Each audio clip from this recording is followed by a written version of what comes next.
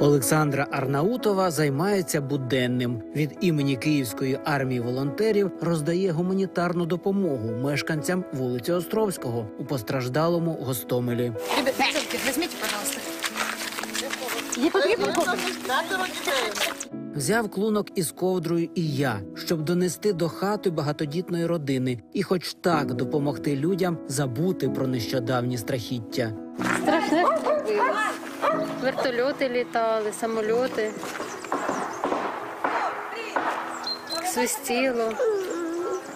Бахали, танки, прямо все, земля дребіжала, все. Ну, в погребі, звісно, з дітьми були весь час. Люди, які відчули на собі усі принади руського міра, допомоги не цураються і щиро вдячні кожному, хто ділиться. А таких добродіїв рясно по всій країні. Хмельницька область, Дубно Ровенської області і Київ дуже багато допомагали. Дякуємо. Волонтери вирішили підтримати очищені від окупантів території не лише речами й харчами, але й духовно. Як заквітчати ще до кінця нерозібрані руїни? Для чого ось, ось це зараз естетика? Розумієте, найголовніше це дух. Звичайно, все потрібно роз- разом. І звичайно, коли в людини немає домівки, то вона спочатку думає про це. Але е, відчуття, що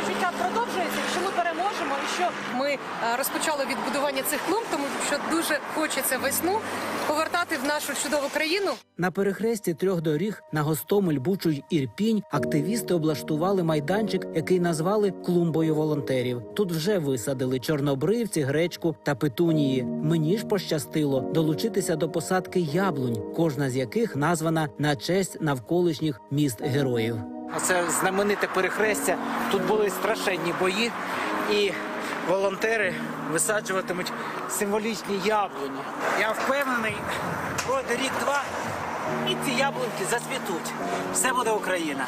Ми посадили Гостомель. Гостомель, то Буча, а це Ірпінь. Земля на клумбі ще всіяна уламками снарядів та рештками ближніх будинків. Що це таке за? Це ж не Давайте, наверное, камінюку не треба. камінюку не треба. на цьому мосту був запеклий бій.